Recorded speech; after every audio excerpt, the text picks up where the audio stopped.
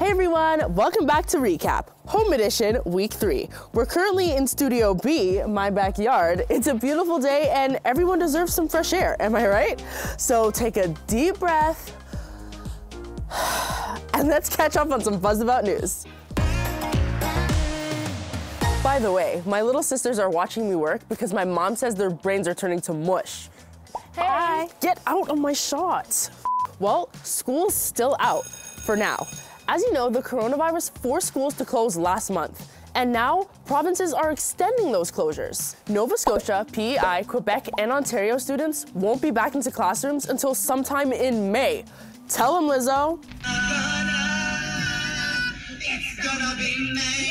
New Brunswick and Alberta are saying schools will be closed indefinitely, and other provinces will be announcing their plans soon. Across Canada, teachers and school boards are trying to figure out how to make e-learning the new normal, and all of this brings up a lot of questions. Should Wi-Fi be free? How will kids in rural areas manage with their spotty internet? What if you're graduating this year? What about your marks and applications for college and university? We're not the only ones looking for answers, so stay tuned. They will come. Now, hands up if you're feeling a little stir crazy.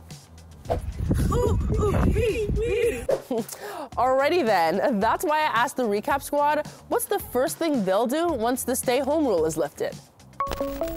I really want to go on like a long drive with my best friend and our dogs, heading absolutely nowhere, roll down the windows, and just sing Living on a Prayer at the top of our lungs. And I will immediately go to Coco's and buy a brown sugar roasted milk tea, normal sugar, less ice with tapioca.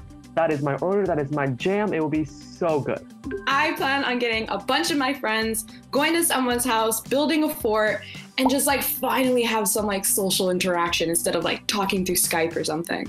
I'm just looking forward to getting outside, getting together a large group of friends, and being able to play soccer. Yep, for me it's gonna be my girl crew, a late night vibe session, and some Korean food. Hey Jada, go make me some beef teriyaki.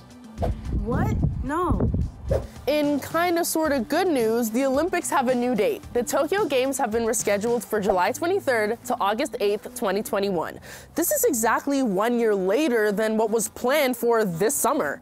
And did you know the Olympic Games are on TikTok? Right now, their feed is full of inspirational workouts and funny stuff like escalator swimming. And yo, if TikTok dancing was an Olympic sport, I'm ready to go for gold. Please. Okay, fine. Back to reality. Postponing the games till next year is very expensive. Some reports say that it will cost Japan billions of dollars. And hey, if you want a deeper dive into what this delay means for Olympic hopefuls, go read our article on cbckidsnews.ca. Drake is back in the news. He got a little personal on Instagram this week. Right now, he's staying home in the six after testing negative for COVID 19, but he is missing his son, so he shared this post. This is the first time the world is seeing Adonis since we heard about him back in 2018. Remember when Pusha T spilled the beans in his diss track, The Story of Adidon? But also, Drake's new song, Toosie Slide, officially dropped on Thursday, but it has been the worst kept secret on social media. Here's the thing this Atlanta dancer named Toosie posted this choreographed dance to a leaked snippet of the song.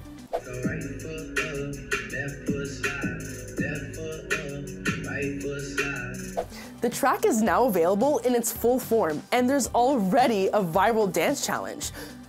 Do you think Drake's team intentionally leaked the song to create hype?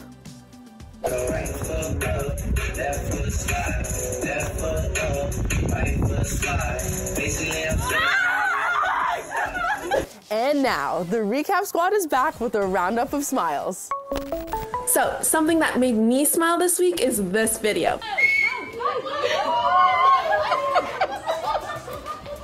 The seniors are playing a life size game of Hungry Hungry Hippos, and I just love this because the staff set up a game to entertain the residents since they couldn't have any visitors. And I mean, just look at how cute they are.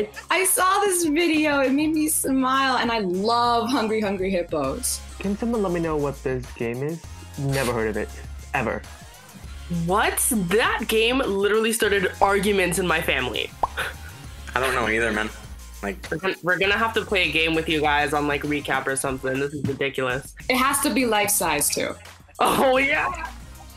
So a new trend that made me smile this week is the hashtag bored in the house on TikTok. Okay, I'm bored in the house and I'm in the house bored. Bored in the house and I'm in the house bored. Bored in the house, bored in the house, bored. Bored in the house, bored in the house, bored. And it has many creators going crazy and making a bunch of creative TikToks on it. Okay, I'm bored in the house and I'm in the house bored. Bored in the house and I'm in the house bored. Bored in the house, bored in the house, bored. Bored in the house, bored in the house, bored. Bored in the house. In the house and in the house bored. I love how we're not in sync, but we're bored in the house together. And that's what matters. It's published on like Apple Music. Like Tyga produced it or something. Wait, it's official? Yeah, my sister showed me. It's actually on Apple Music. You see the No guy way. who made that song? He was like, "I'm glad you guys like it, but I'm still bored." what made me smile this week was John Krasinski started a new show called Some Good News, where he asked his Twitter followers to send him uh, any kind of good news they found uh, during their week. And the story that stood out to me was he talked to this girl who had recently beaten leukemia. So nice to meet you. Nice to meet you too.